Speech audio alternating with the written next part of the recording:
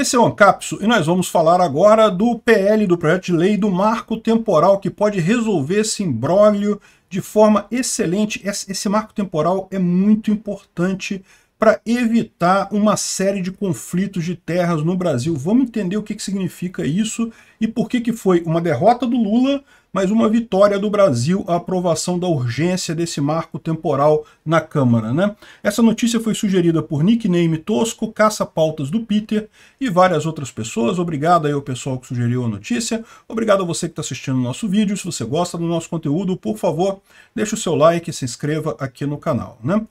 Pois bem, ontem o governo Lula sofreu uma série de derrotas. Entre essas derrotas está justamente a aprovação da urgência da votação de um PL do marco temporal. O marco temporal é uma limitação para você ter demarcação de terras indígenas. Eu vou explicar para vocês exatamente como funciona isso daí.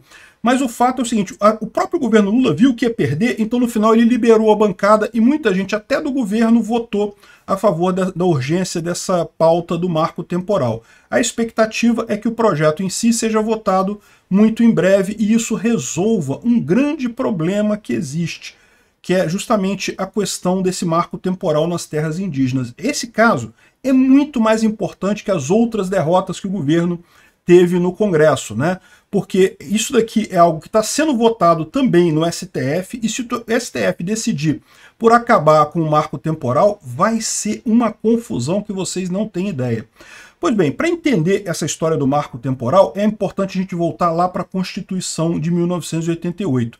O que, que acontecia na época? Até a Constituição de 88, haviam já algumas reservas indígenas demarcadas aqui no Brasil, mas não havia um arcabouço normativo muito firme sobre como demarcar terras. Era um processo muito difícil, poucas etnias conseguiam demarcar suas terras indígenas aqui no Brasil. Vocês sabem a minha opinião? A minha opinião é que sim, o índio que mora na terra, ele tem o direito àquela terra, se ele usa, delimita e defende aquela terra, ele tem o direito da terra, é um proprietário como outro qualquer, né? Então, uh, mas era muito difícil demarcar essas terras até 88. Quando foi em 88, a Constituição nossa foi promulgada e ela continha aqui no artigo 231, olha só, são reconhecidos aos índios sua organização social, costumes, línguas, crenças e tradição e os direitos originários sobre as terras que tradicionalmente ocupam, ocupam, tá? Não é ocuparam ou ocupavam, é ocupam, tá? Isso é muito importante para o marco temporal. Competindo à União demarcá-las proteger e fazer respeitar todos os seus bens.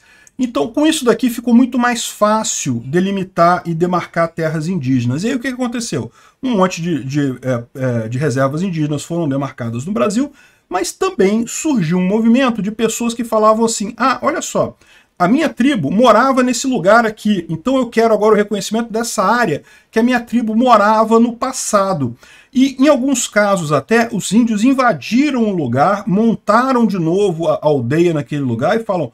É, tem vários casos desse, aqui em Itaipu, em Niterói tem um caso desse, o pessoal invadiu ali, criou uma aldeia ali e fala, não, agora tem que demarcar aqui porque historicamente o meu povo morava aqui e agora a gente quer a demarcação dessa área aqui para terra indígena e coisa e tal. Só que repara o seguinte, né? O que fala aqui é que tradicionalmente ocupam. E a Constituição foi promulgada em 5 de junho, 5 de junho, acho que é isso, em algum ponto de 1988, tá? Em algum dia de 88. Então, qual que foi, o que, que surgiu na, na justiça? Surgiu uma jurisprudência. A lei não, não interpreta isso daqui, a lei não diz o que, que é. Mas os juízes começaram a decidir nessa, nessa base. Se a, a, aquela, aquela tribo indígena ela já ocupava a área em 88, isso aqui se aplica a ela. Por quê? São terras que tradicionalmente ocupam, neste momento, em 88, quando foi promulgada a Constituição. O que é, essas tribos ou uh, situações que surgiram depois de 88 não teriam, não estariam cobertas por isso daqui. Por quê? Porque, na verdade, é, não, não, ela não estava ocupando aquilo em 88, né? E veja, muita gente fala assim, ah, mas o Brasil inteiro era ocupado por índio, então todo mundo aqui é ilegal, tinha que voltar a terra toda para o índio. E não, não é assim que funciona, é o que eu falo para vocês. É, o índio pode ter vendido a terra, pode ter abandonado a terra, pode ser trocado a terra por espelhinho. Trocar a terra por espelhinho é um mau negócio, mas é um negócio. O cara trocou, está trocado. Então, assim, esse tipo de coisa, é, é, nem toda a terra foi tomada dos índios, né? Então não tem esse negócio de que ah, não tem que dar tudo para os índios e coisa e tal. Não existe isso. O índio que está até hoje na terra e aquele que provar né, na justiça que realmente foi expulso violentamente coisa e tal, ok, é outra história. Mas é, é, daí dizer que qualquer terra o índio pode chegar lá e dizer, não, aqui é minha tribo. Porque, cara, isso criou até uma, uma indústria de criação de tribo indígena. Você vai ver lá na Bahia, tem índio louro de olho azul, meu amigo. Tem, tem lá, o pessoal monta, diz que, ah, não, mas eu sou descendente, uns 64 avos de, de índio, não sei das quantas. Então eu ocupei essa área aqui, que era essa terra, né? Ficaria uma loucura completa. Todos esses processos estão parados por conta do marco temporal o marco temporal impede a demarcação dessas terras. Se o STF, e o STF tem tudo para acabar com esse marco temporal, disser que não, se o cara provar que a terra é, é, é realmente da, da, da, etnia dele, coisa e tal, então pode, pode demarcar e coisa e tal, imagina a dor de cabeça que isso vai dar. Tem um monte de casos desse de que é, é o índio alega que não, mas eu não estava ocupando em 88, mas é, é, tradicionalmente, no passado, era da minha tribo. Por isso que é muito importante o verbo aqui, ó, é ocupam né, neste momento, em 88. O marco temporal está sim na Constituição. Mas, enfim, uh, essa é a discussão. Se o STF destruir o marco temporal, acabar com o marco temporal, aí, meu amigo, vai virar uma bagunça. A quantidade de terra que pode ser demarcada por índio aí vai subir exponencialmente. Ninguém mais vai ter é, segurança jurídica de que o lugar que você mora é seu mesmo, porque pode vir uma tribo e alegar que, ah não, aqui a zona sul do Rio de Janeiro pertenceu aos Tupinambá, então pronto, temos que devolver tudo para os Tupinambá aqui no centro do Rio. Acabou, você não tem mais segurança jurídica nenhuma. Então é importante, o que, que o Congresso está querendo fazer agora? Está querendo é, tipificar isso, colocar isso exatamente dessa forma, um marco temporal numa lei. Olha só, o índio que estava até 88, ok. Os que descobriram depois que era um índio, que, ah, caramba, agora tá fácil delimitar a terra. Não, então eu sou índio também, pô, sou descendente de índio também. Quero minha terra e coisa e tal. Esse pessoal, aí não, pô, você não estava em 88, não estava brigando por isso, que história é essa, né?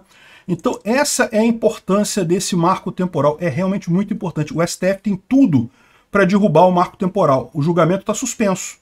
Eles suspenderam justamente para deixar, para dar tempo para o Congresso se é, é, se colocar dessa forma, né? explicar, de, deixar isso claro na lei. Então, eu acho que tem tudo para passar esse MP do marco temporal. Parece que eles vão estabelecer, é, vão fazer um meio termo, ao invés de botar dia 5 de junho, que é o dia da promulgação da Constituição, eles vão botar 5 de outubro, que é o dia da, do início da validade da Constituição, aqui, ó, é, exigindo a presença física dos índios em 5 de outubro de 88. Então, os índios que estavam naquele lugar, que eram donos daquela terra e que estavam lá no dia 5 de outubro de 88, os processos de demarcação continuam. O resto, meu amigo, só se você provar mesmo que foi retirada a força e coisa e tal. Aqui ele também proíbe a ampliação de terras indígenas já demarcadas, é, flexibiliza o uso de terras pelas comunidades e permite a União retomar áreas reservadas em caso de alteração de traços culturais na comunidade, né? Porque isso também é importante, porque é o que eu falo para vocês, esses, essas tribos montadas de índio que tem agora, que nego criou tribo do nada, isso não é tribo, não é índio. Os caras já perderam, já estão totalmente aculturados, já virou brasileiro normal, né? Aliás, todo brasileiro tem aí um traçozinho de índio se for procurar no final das contas. Eu tenho. Eu fiz a minha, meu teste genético, coloquei lá no meu canal Diários da Quarentena, eu tenho 3% de, de sangue indígena aí. Pronto. Quero minha tribo, vou montar minha tribo aqui no, na zona sul do Rio. Enfim, não, o que eu quero é paz, eu quero tranquilidade, eu quero segurança jurídica, então é muito importante que esse projeto do marco temporal passe. E aí que eu falo para vocês, um dos medos que o pessoal tinha era justamente esse, o governo Lula entrando ia sair demarcando terra indígena para tudo quanto é, é, é, filiado do PT, em tudo quanto é lugar por aí, e agora, com esse marco temporal, isso vai ficar contido. Tá vendo? Isso é importante. Vamos ver, vamos torcer para isso passar, porque ainda tem que passar. Aprovaram a urgência, vão votar ainda na Câmara e tem que votar no Senado também. Eu acho que tem tudo para passar. Mas vamos ver, né? É, é, isso daqui é uma vitória importante. Obrigado por assistir o vídeo até o final.